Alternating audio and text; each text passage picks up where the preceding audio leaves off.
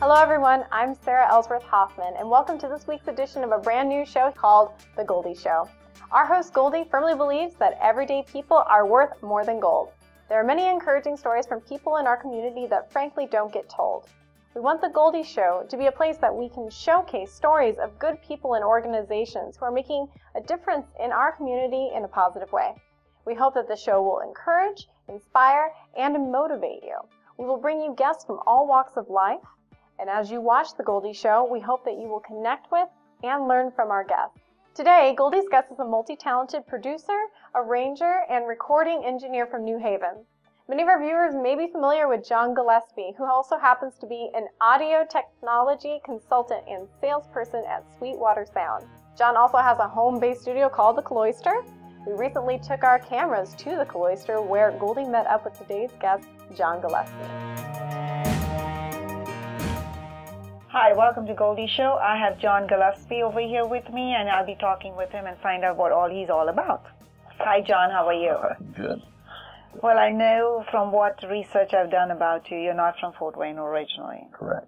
And could you tell us where you are from? I grew up in uh, Minnesota, small town, 832 people, and uh, then moved to the Chicago area when I, where I went to college and lived there for eight years and then moved to Fort Wayne area in 1989. All in throughout the school, did you ever do music, composition, or drama, or stage, or any kind of a thing? All of that. All, All of that. that. I was, um, I started playing piano before I have any memory of it. Um, my parents said I was picking out melodies by ear on the piano before I could talk. So, um, I've just always been doing it and always been fascinated with music. And then in high school, I did school musicals and I was in the band and I would write arrangements for the band and they would play them and, you know, the high school band and that kind of thing. And through all, all your journey of school and college and all, do you have any kind of a person in your life that really inspired you to, you know, go on or challenge you with all this? Wow, yeah. Uh, a few. Did it? Um, my parents were both very musical and encouraged that. And then, um, I had two great high school band directors, Mr. Hahn and Mr. Keene. They were both awesome, and they're both still around. I keep in touch with them every now and then. Hi guys! So they're probably not watching. But, uh, you know, and in college I had some great, uh, professors. The dean of the conservatory was very encouraging to me, and and but really, it's always been almost an unhealthy obsession for me. So. So you you also I know you say you produce music, you write music. Yeah, um, I was a composition major at the conservatory and concentrated on ethnomusicology. So I've always kind of been drawn to world music. Now, with all this music background and all, do you always try to even teach anybody, or it's just you know? Oh, yeah. I I think that um, that's a big part of my personality. When I have people that are in the studio, I don't try to keep my secrets. Some engineers, you know, when they're in the studio, they they don't want to tell people what kind of equipment they use or what they're doing. But I'm always just going, well, now I'm going to do this and try try this. Check do you like what this is? You know, and I explain maybe too much sometimes. So. But you're not selfish about it. That's no, what you're trying to tell. Well, yeah, no, I I just want to share. And I, a long time ago, I think I one of the greatest blessings in my life was that I kind of it occurred to me what my reason for being on the planet was. And that was to encourage people to grow as human beings, emotionally, spiritually, and intellectually by helping them discover the creative potential that was within them.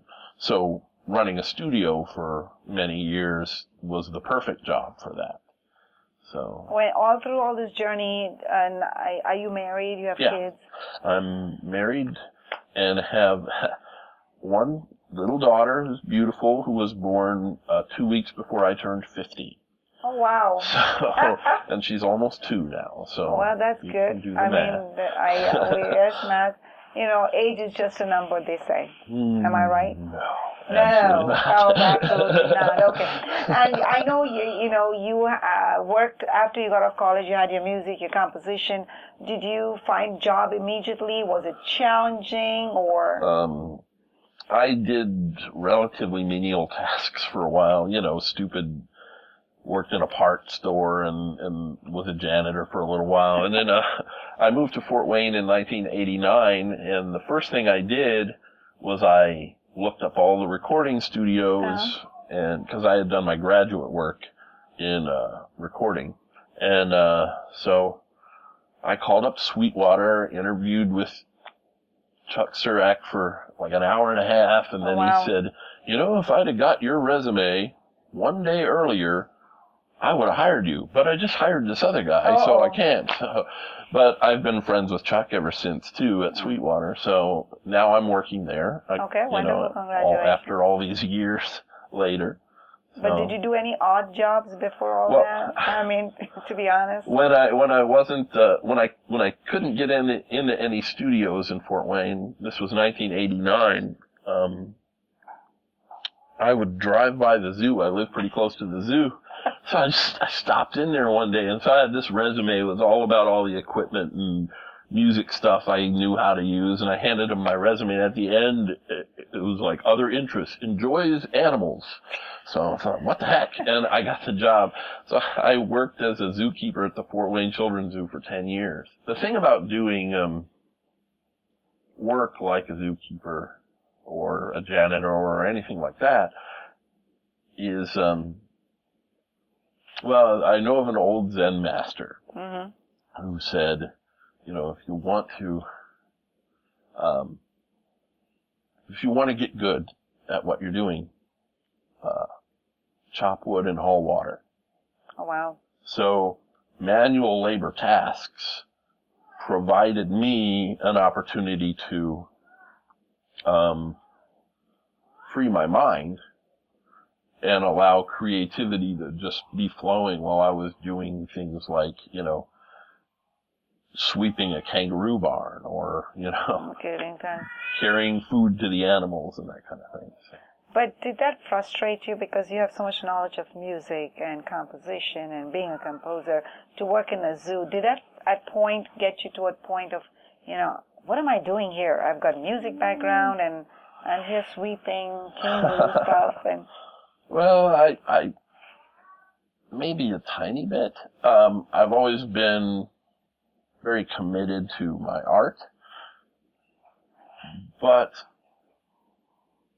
I guess everything in its time and place. And I always knew that I would eventually be doing something musical full time, and I have been for decades. so how So- long it took you to put all this together? The studio? Well, I'll let you know when I'm done.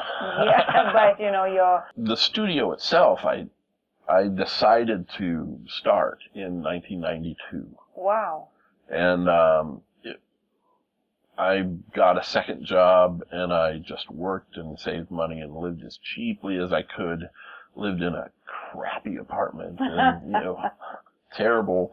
And I just kept working and buying equipment and putting it, trying to make the stuff that I had better and better and make my skills better and better to the point where, you know, I've recorded a lot of national artists at this point and, you know, Mm, With all this knowledge that you have, what is your message out to the younger generations or people who are trying to get into your shoes or where you have been and where you are today? hmm, What is your message? absolute commitment, um, to your dream. Sacrifice. Well, yeah, I mean, that's part of it. So, I mean, if you're committed, you don't even think about sacrifice. You just, I'm doing this, you know, blinders on, kinda, you know, it, Like the horse race? yeah, right. And, you know, people talk about having a balanced life. You Mhm. can't, you can't be really good at something and have a balanced life. It's impossible. You can't. Screw balance, you know. Get good at something. Get good at what you love. Um, now, it seems to me, and maybe this has always been true, and I didn't understand it when I was a kid, Mm. but it just seems to me that now there's a generation in our country that feels like everything should be just handed to them. I Like, I worked my butt off to get this stuff, and I still am working my butt off to get this stuff. I, I always think there's of the next really amazing piece of equipment that I can get that'll make me help me be better. So there's a difference in generations you're trying to tell me. What about the Maybe. music? Have you seen difference in music from Oh. what you were a couple couple couple years ago than now? What i- I mean, is there a gap? There's a difference, or is it the same? You know, it's kind of funny. Um, Mhm. I was talking to a friend of mine who's a musician about, and I said something about, you know, I mean, I, I know, I understand how to make hip hop sound right, rap, that kind of stuff, but I don't really enjoy it. You know, I know how to make it sound right, but I don't listen to it. The guy is named Michael Patterson, a great jazz bass player, really um, an amazing person. And he said, well, it's not for you.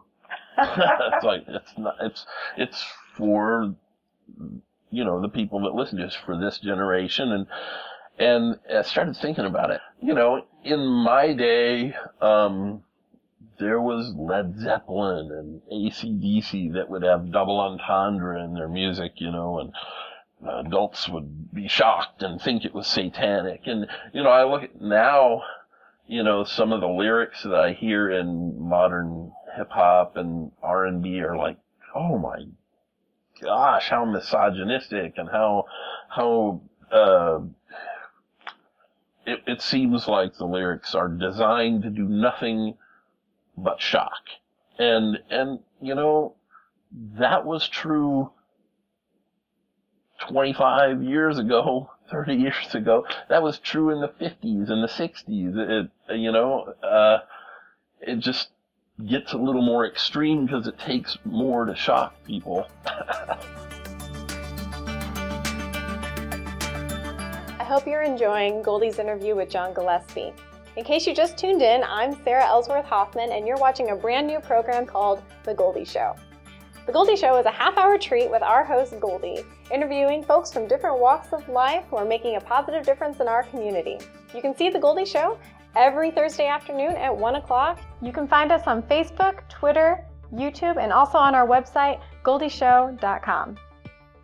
Now let's go back to Goldie and her recent interview with the multi-talented producer, arranger, and composer John Gillispie, where he rejoins us to talk about his current work, including work he's done with some famous artists. He will also be discussing his thoughts on going for your dreams.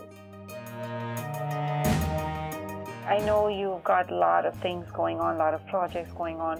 What, what do you think about your future? I mean, where do you want this to go? Hmm. Where do you want your music to go, or what is your plan?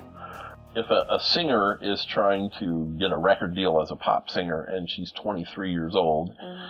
she's considered too old in the modern industry. Again, it's the age, the It's the- number. yeah, but so I know that I'm not going to be, you know, it, it's funny because in order to get good at something, you can't be really good at something when you're 22, 23 years old, you know? You've got to develop your craft. And I feel like I'm still coming, you know, I'm still improving every day You're as learning. I work on it. You're learning. Yeah, always. You, Every day. You stop learning, you start dying. So I'm always learning and getting better, but I know I'm never going to be in the front of the camera. I'm never going to be the rock star. So the project I've been working on now for the past 14 years, um, I find singers, and most of them are young, attractive singers that um, sing that are familiar with other cultures. Um, several different African countries, um, lots of different Asian countries, um, different countries of Europe, different cultures, and also different ethnic styles in the United States. I still haven't found any South American singers, so any Brazilians or Chileans out there, give me a call. We'll get you your album started. but um, I'm always looking for new singers, and what I do is I record the traditional songs from those cultures. Um, in I re- record them a cappella with just a, a pitch reference and a metronome, so they get the tempo and the key consistent. And then once they've recorded these traditional songs, Mm-hmm. I kind of arrange them and, and and create an instrumental setting. I I I've had friends call it uh, reimagining them. I reimagine these traditional songs and make them into something new, but yet preserving the essence of the tradition. But you have a well set, you know, studio over here.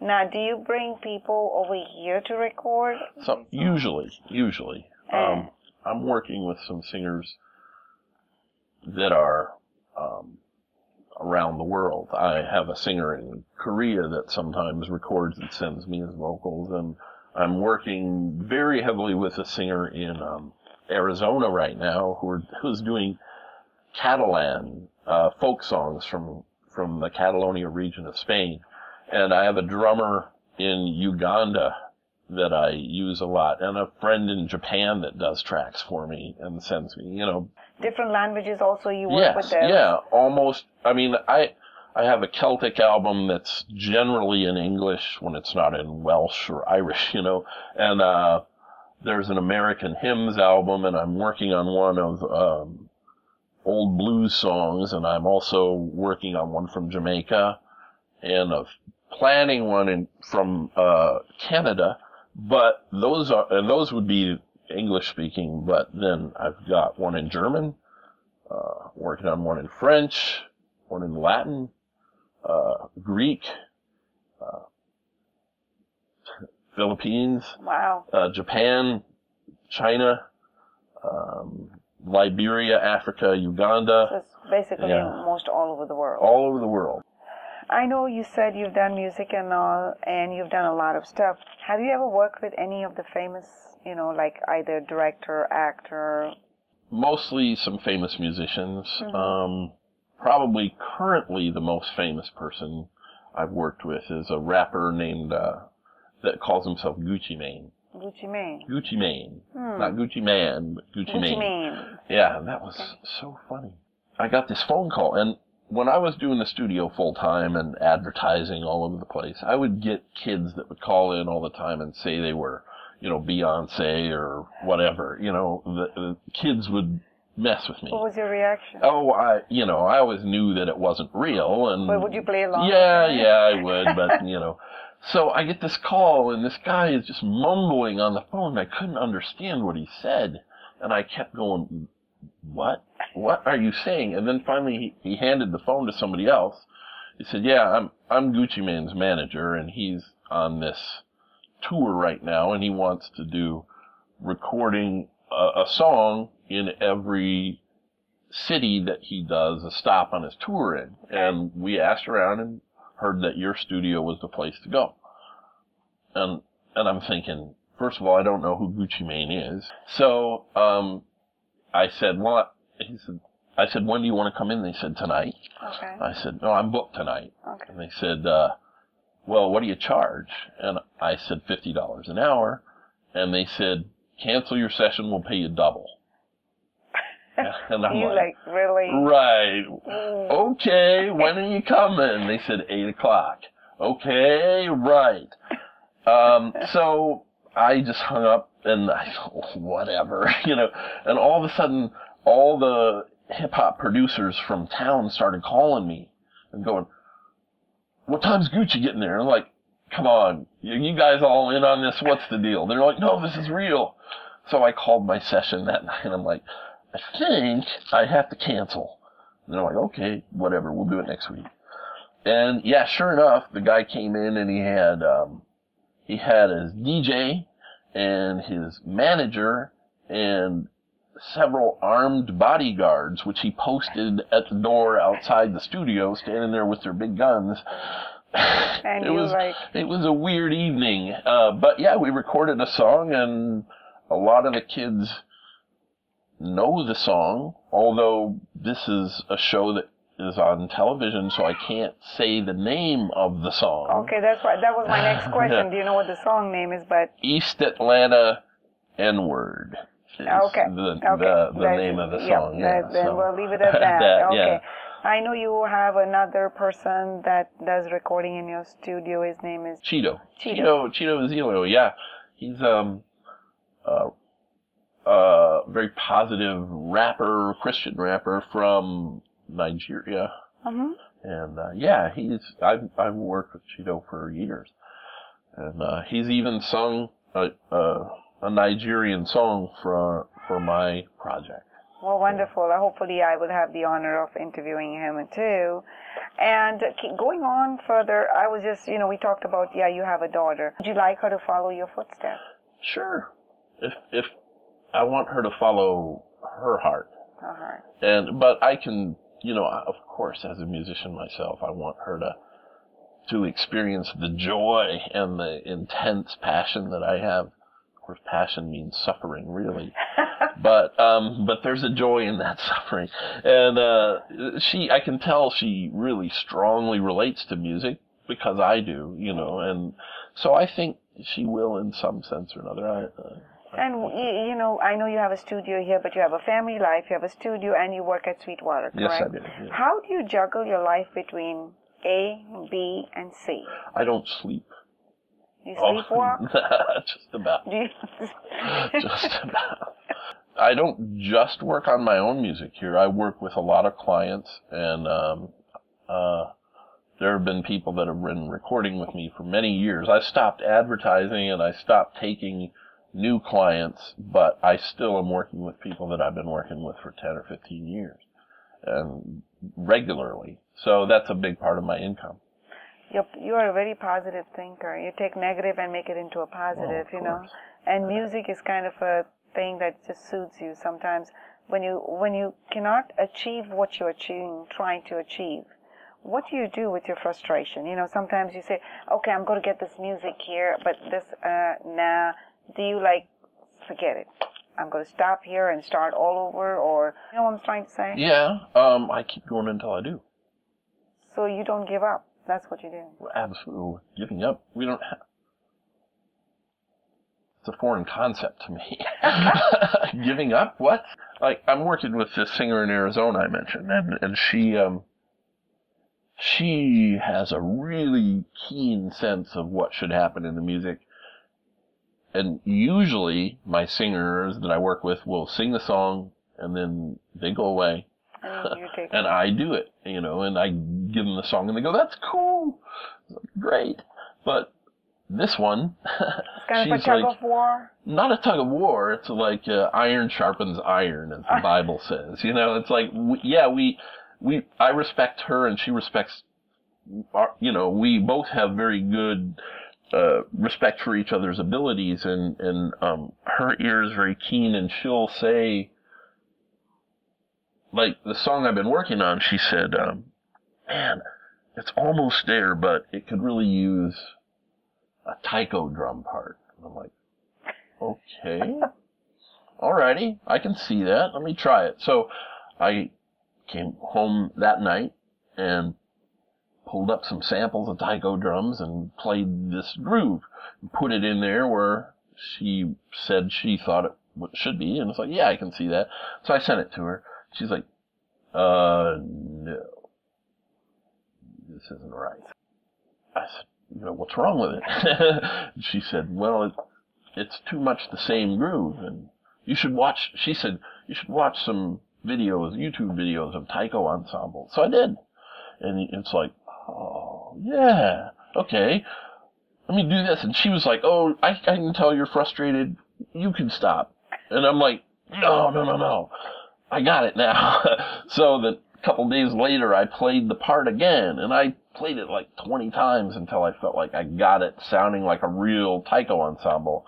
And I sent it to her, and she's like, "That's great. That's what I wanted." Oh, but this one part, like, okay.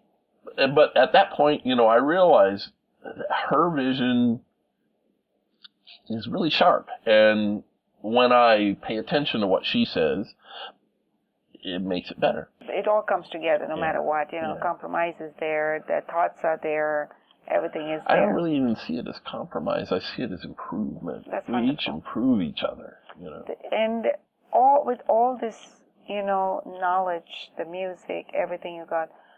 What is one message that you can tell the audience? One strong message Just that can impact. go for it. Make yourself better. You know, if you're trying to achieve a goal, you if you want to be a famous singer and you're 18 years old and you're still young enough to do it, you know, keep singing. And if if if if they tell you you're not good enough, don't say. "Oh, What if they're not quit." 18? What if they're not 18? What if they're 30? What if they're 40? find a way that you can You know? still do it. I mean, there's lots of ways that people can make their living doing music. They don't have to be a pop star, you know. There's, man, if you sing jazz, you can do it until you're 90. Your messages do not give up. Just don't quit. Don't let it be part of your mental vocabulary. Don't give up. Keep on going. Yeah, that, what you said.